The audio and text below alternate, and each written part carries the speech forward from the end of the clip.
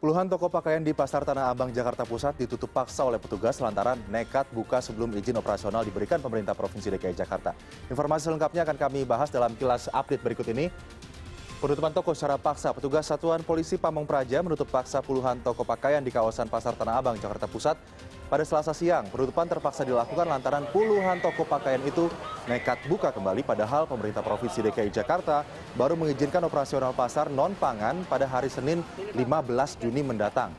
Perwira pengendali Satpol PP Kecamatan Tanah Abang mengungkapkan petugas tidak akan segan melakukan penutupan paksa bagi pedagang yang tetap nekat membuka toko mereka sebelum tanggal 15 Juni mendatang. Selanjutnya korban banjir yang terserang penyakit, selasa siang banjir rob yang menggenai kawasan Muara Angke Penjaringan Jakarta Utara terpantau mulai surut dari sebelumnya 60 cm menjadi 10 cm. Petugas suku dinas tata air Jakarta Utara menerjunkan 7 unit pompa mobile untuk menguras genangan air yang berada di permukiman warga.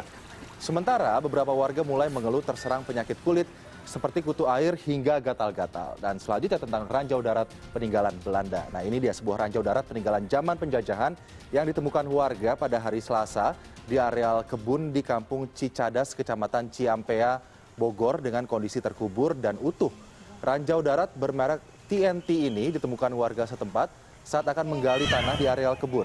Untuk menghindari ledakan dan kehebohan warga, petugas pun langsung dikerahkan ke lokasi penemuan dan kemudian memasang garis polisi lantas mengamankan ranjau tersebut.